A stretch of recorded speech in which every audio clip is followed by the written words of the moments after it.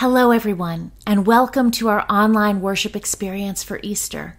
For most of us, this is the first time that we've done Easter in this way, behind a computer screen, by ourselves, or with our families.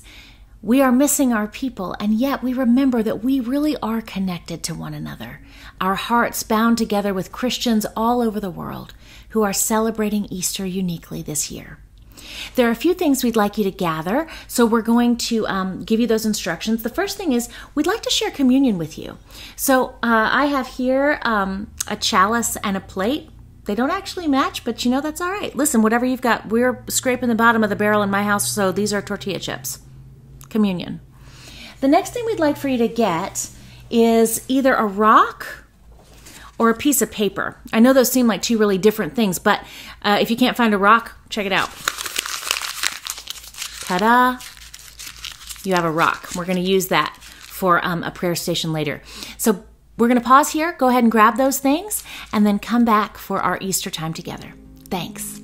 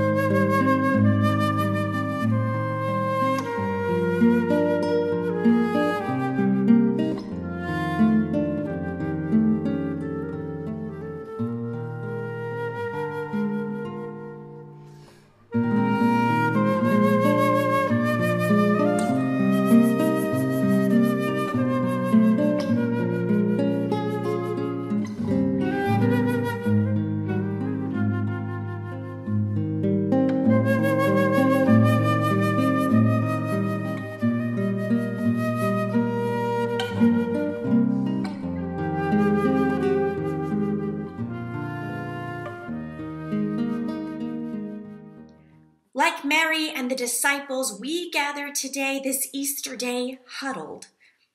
Many of us come seeking answers or consolation. Many of us come weeping in our gardens and locked behind doors. This story we find ourselves in is not unlike that ancient morning. They carried this unbelievable story of new life, and we hold on to this powerful story of new life. And so, beloved, however you come this day, take your place with fresh eyes and open hearts. This story has the capacity to change the world. Rise up from the tomb of despair. Claim new life in the way of love. It is Easter. God is faithful. Let us rejoice. Well, happy Easter, everybody.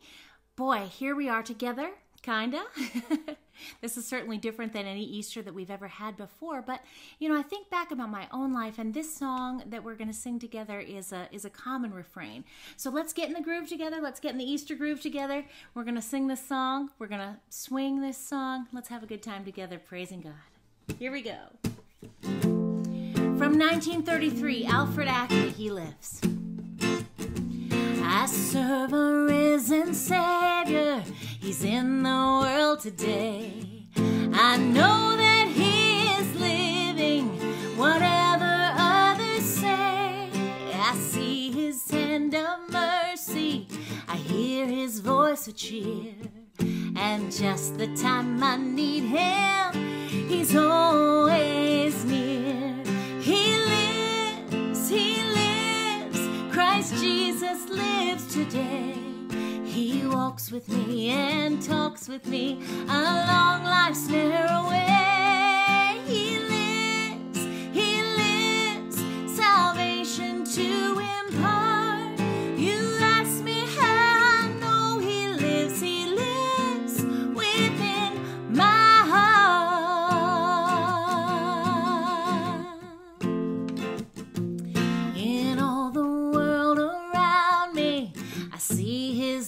And care.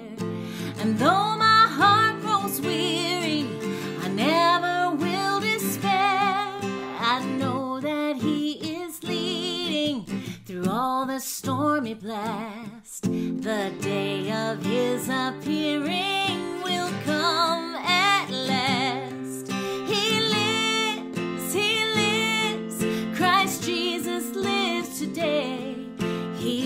with me and talks with me along life's narrow way. He lives, he lives, salvation to impart. You ask me how I know he lives, he lives within my heart. All right, now we remember in the book of Philippians talks about rejoicing. Rejoice in the Lord always. A little tricky to do sometimes, but you know what? We're to do it. Come on, let's do this together. Rejoice, rejoice, oh Christian. Lift up your voice and sing. Eternal hallelujahs to Jesus Christ the King, the hope of all who seek Him, the help of all who find. None other is so loving,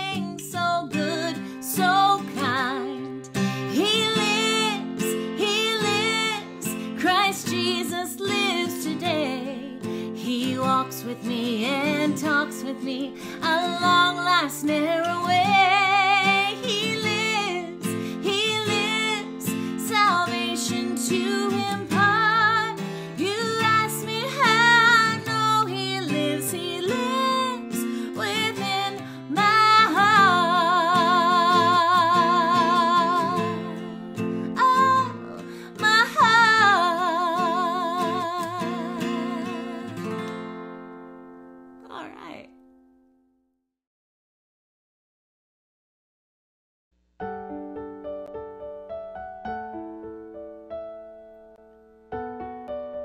Here is a miracle. Do you see it? Rising from the richness of the fertile ground, a tiny green blade, the natural world alive. Here is a miracle. Do you feel it? Rising within your being. Each breath a gift for this moment alive. Here is a miracle. Can you believe it? Rising even now in our precarious, precious world, Jesus the Christ, our hope, alive.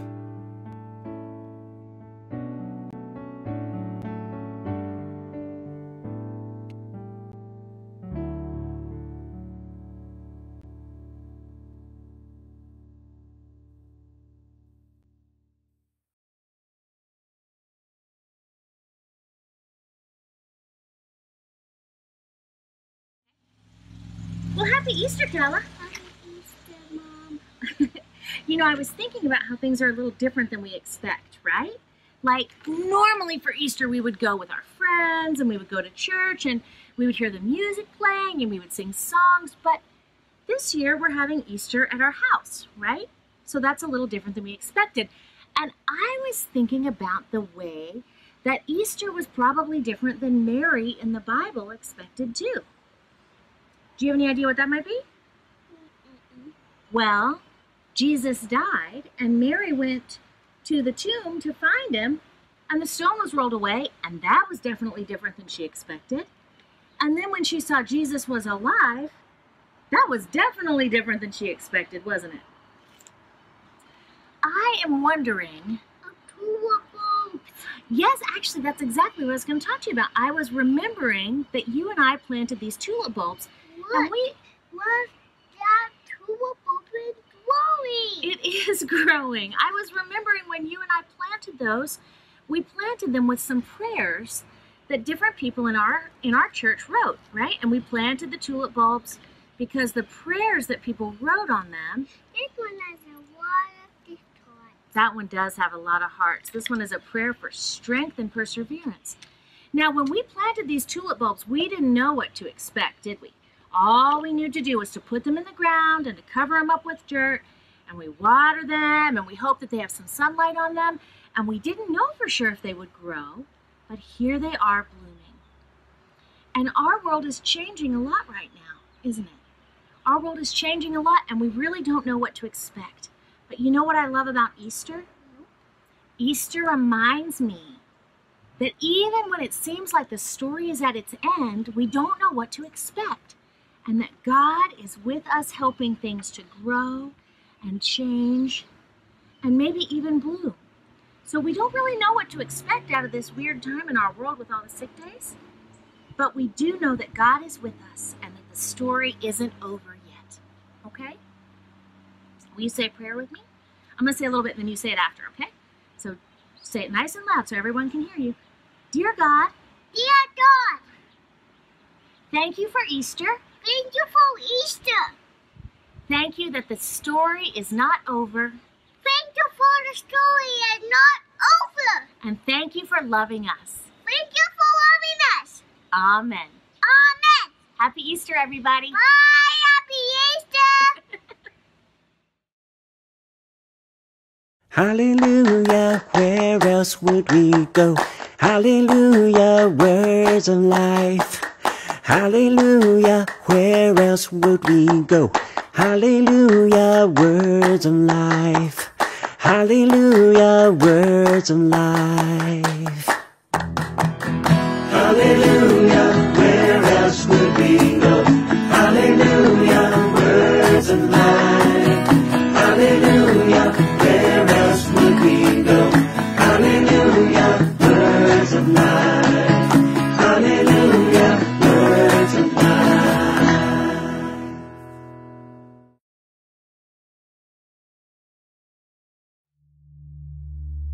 John 20 The Resurrection of Jesus.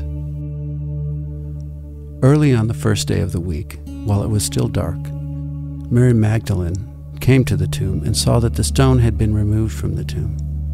So she ran and went to Simon Peter and the other disciple, the one whom Jesus loved, and said to them, They have taken the Lord out of the tomb, and we do not know where they laid him. Then Peter and the other disciple set out and went towards the tomb. The two were running together, but the other disciple outran Peter and reached the tomb first.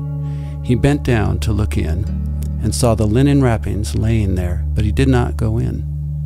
Then Simon Peter came, following him, and went in the tomb. He saw the linen wrappings lying there, and the cloth that had been on Jesus' head, not lying with the linen wrappings, but rolled up in a place by itself.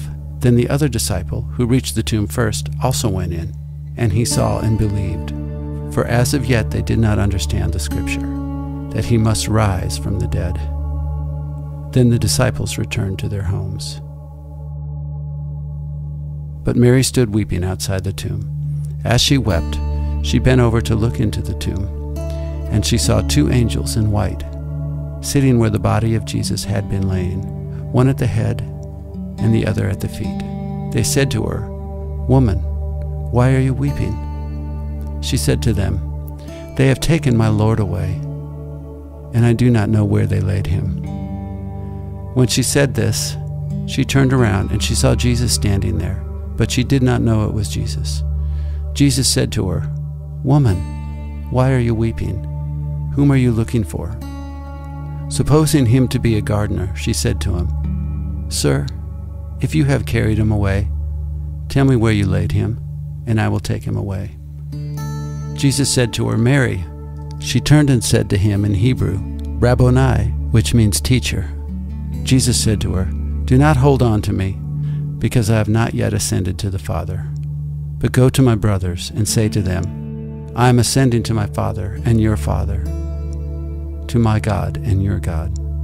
Mary Magdalene went and announced to the disciples, I have seen the Lord. And she told them that he had said these things to her.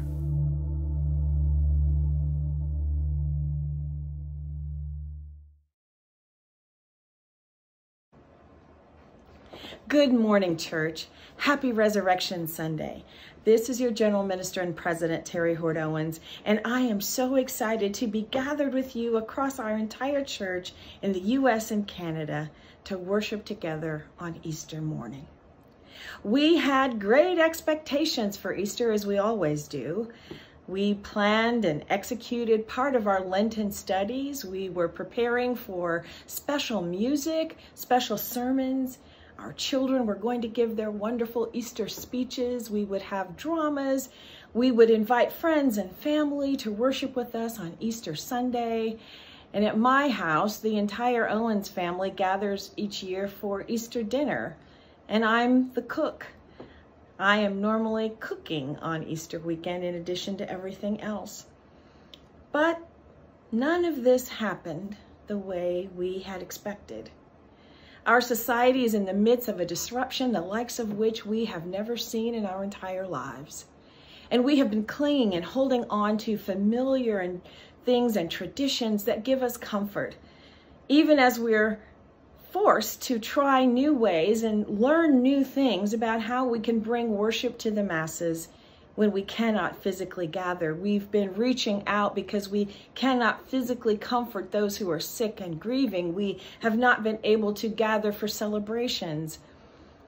And yet we've been holding on to the familiar, hoping that surely when this is all over, things will go back to the way they have been.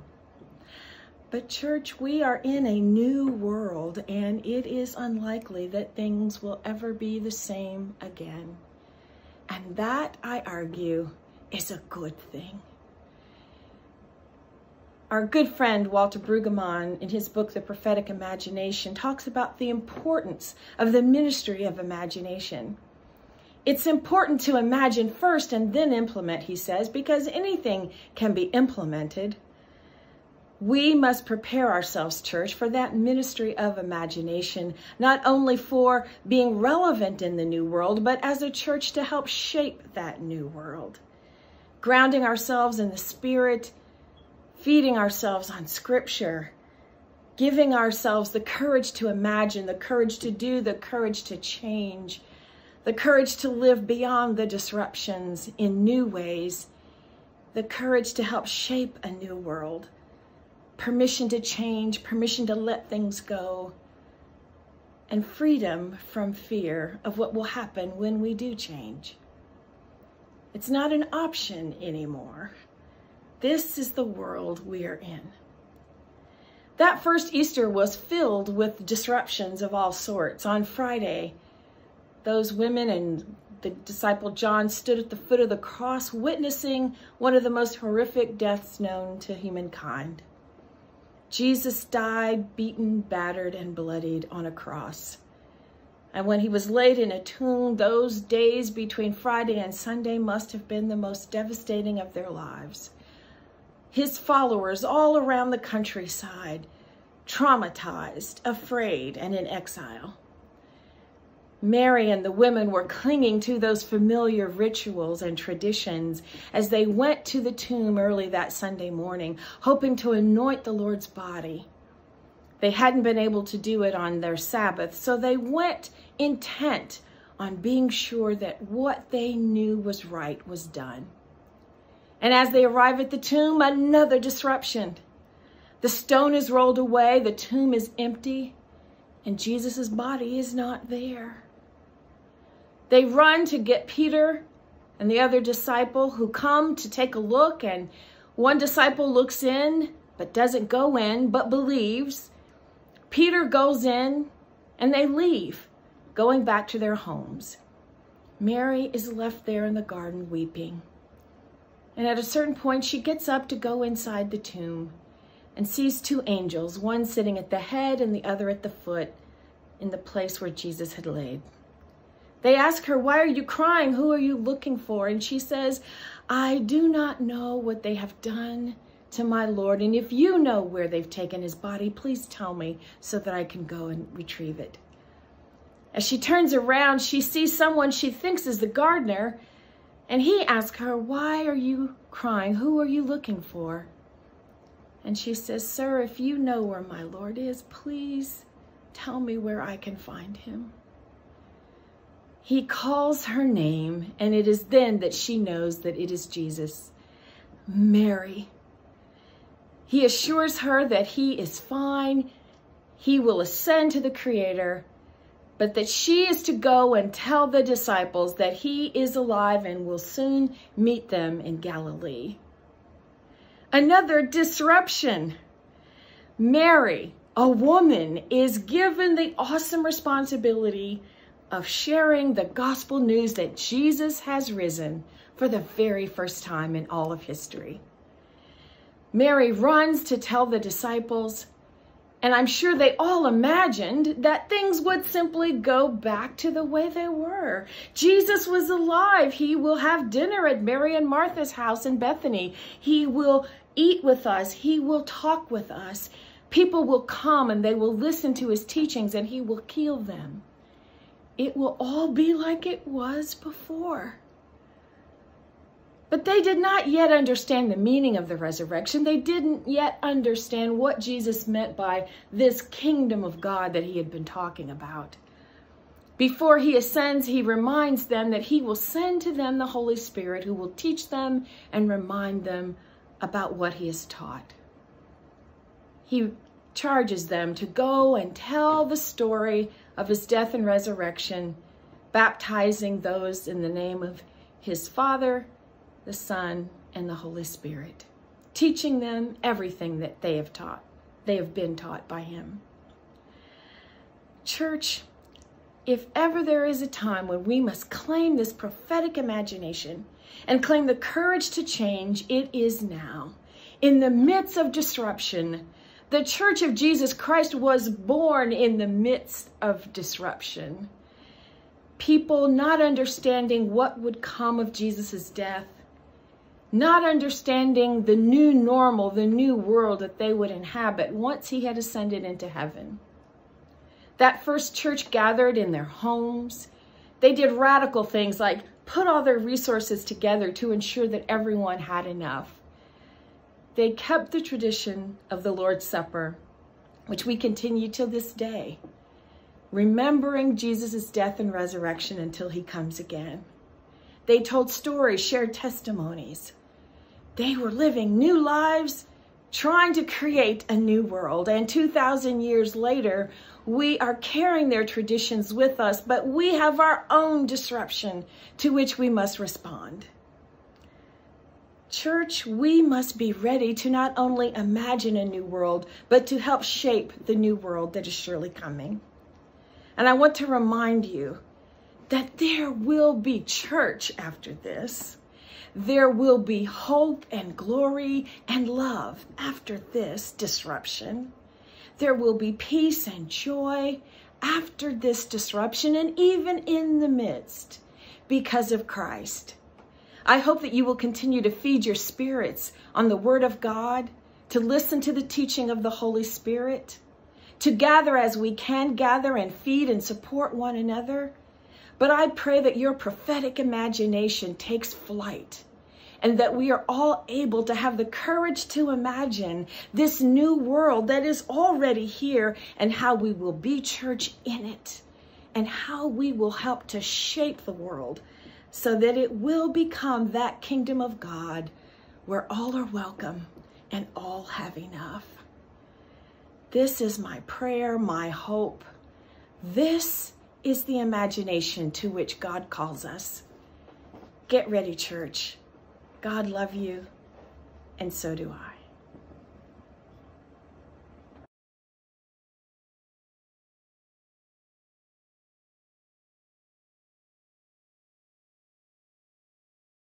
In Terri's sermon, she asked us to exercise our best imagination on what the church will be for the world in these days.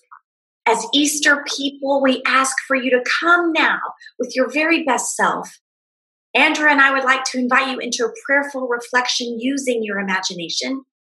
In these moments, you're going to need either your crumpled up piece of paper resembling a ball, or if you have a rock handy, you can use that as well. During the prayer together, we will be rolling things away, and we invite you to do the prayer with us along with our words.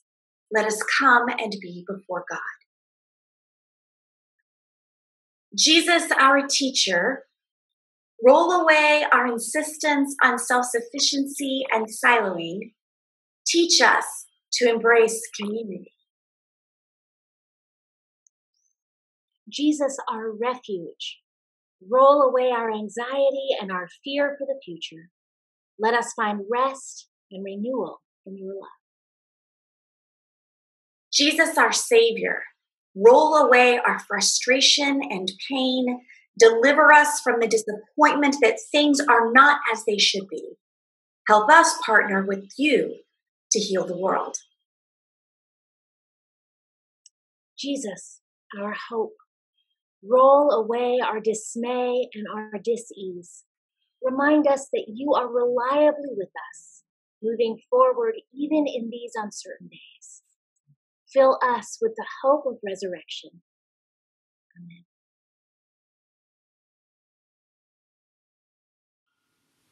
I love imagining us rolling away those things that are holding us down, keeping us from sitting up, from standing, from running with the good news that life is made tangible again, that life is here. Life is here at table. This year, I, I think I need the sacred Easter table more than most. Just to rest in the depth of a God who loves unabashedly. To taste the presence of a God who nurtures life to accept the promise of a God who always makes a way. Together in these moments, let us roll away our pain and rise to love. Take and eat and drink. Life is here.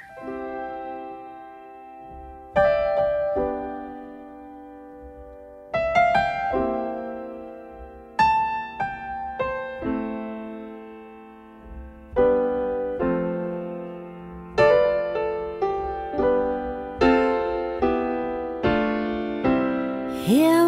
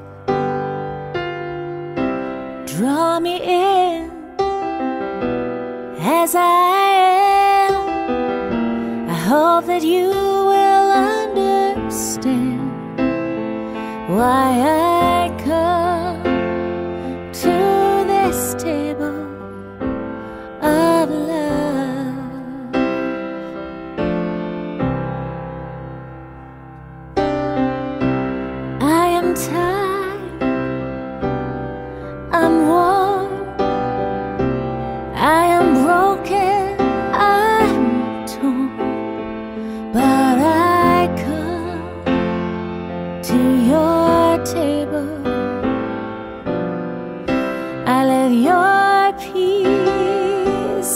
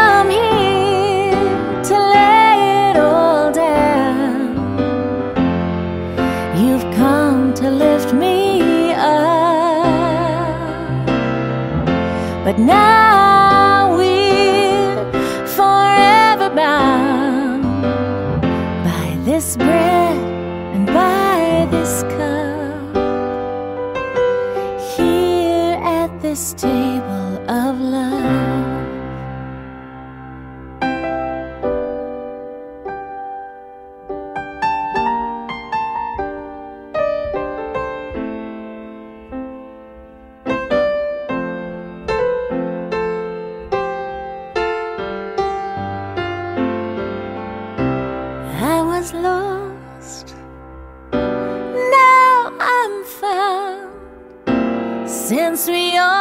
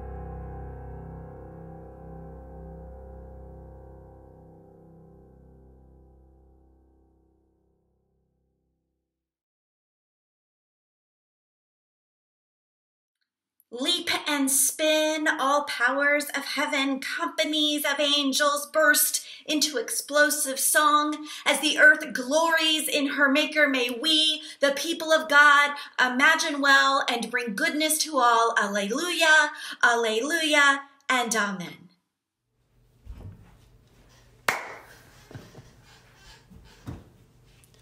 Hey everybody, well, since we're all cooped up here, I thought I'd uh, take the time to play you a little song. This is for everybody out there who's watching. This song's called All Will Be Well.